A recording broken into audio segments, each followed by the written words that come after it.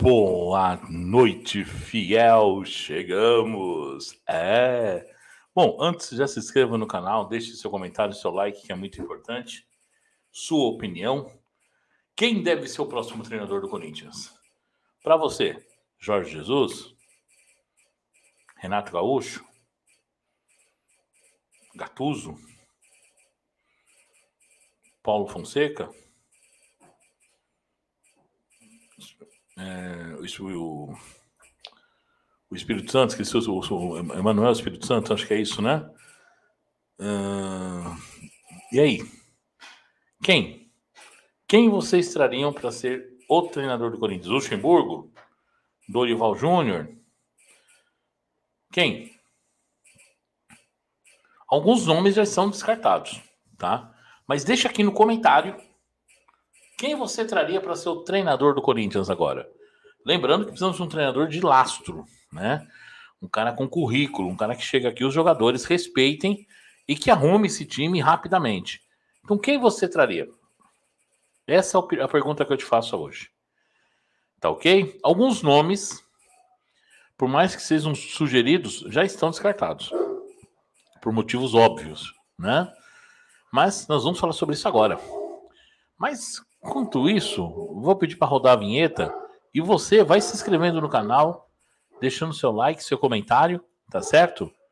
É... E aí vai no sininho de notificações, clique aí para que você possa receber sempre as notificações do nosso, do nosso canal. E clique lá em todos também, tá ok?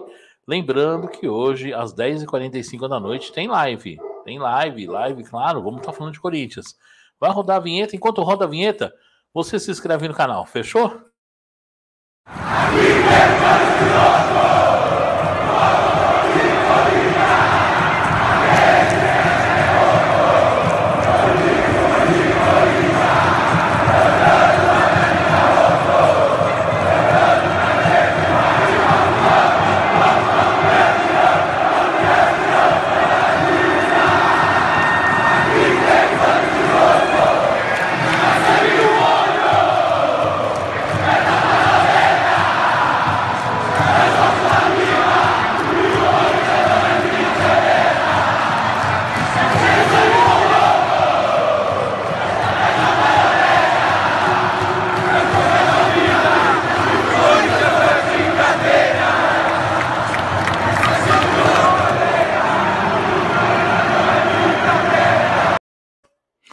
É isso aí, galera. Então, também nos siga no Instagram, hein? Marcão da Fiel ou underline oficial.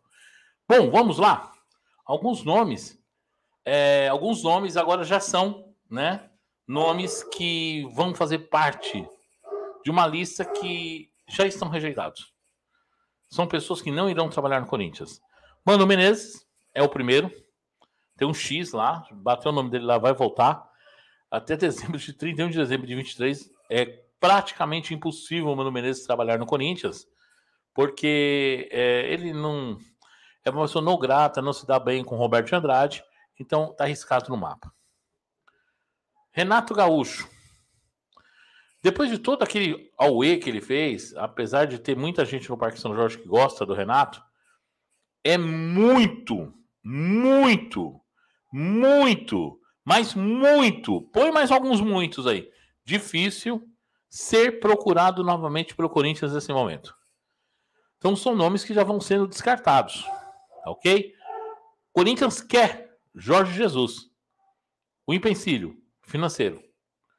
O técnico pediu 4 milhões de euros por temporada, pediu 6 para o Atlético. E aceitaria negociar com o Corinthians.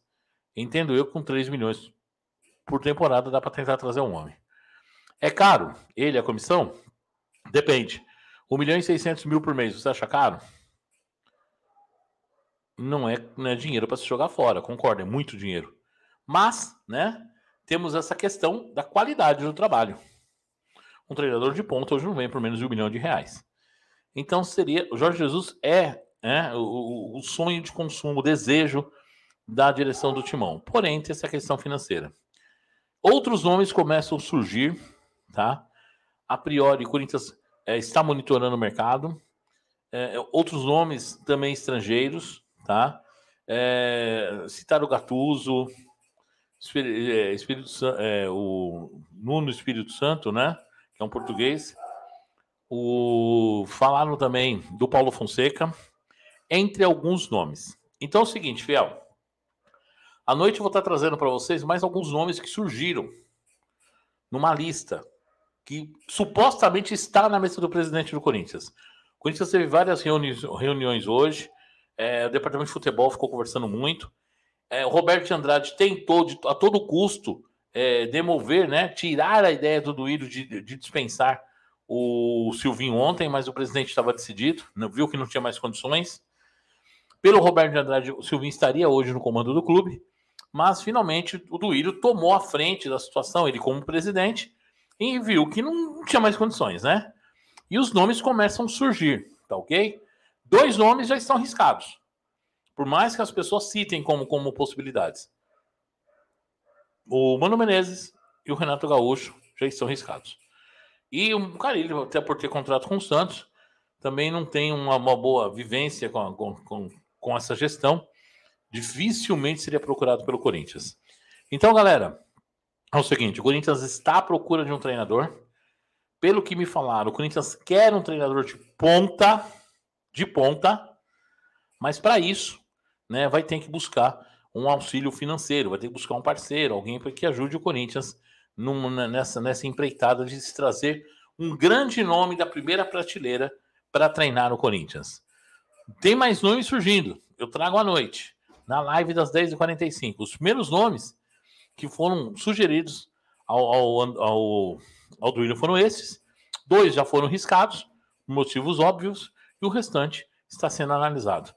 Muita água vai passar para dessa ponte. O Corinthians precisa agir rápido, mas eu não acredito que antes de domingo ou segunda-feira o Timão já tenha definido o seu novo treinador.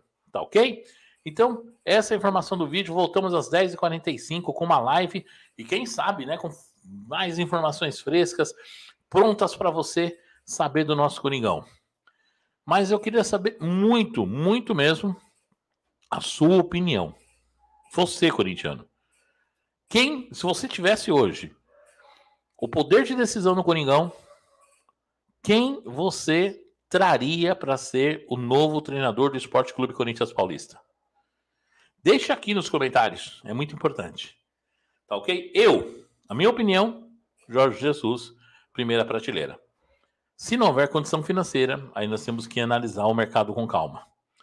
Só que tem que trazer um, um treinador, ao meu ver, com lastro, com experiência, com currículo, um cara que chega aqui trabalhando muito para recuperar o tempo perdido.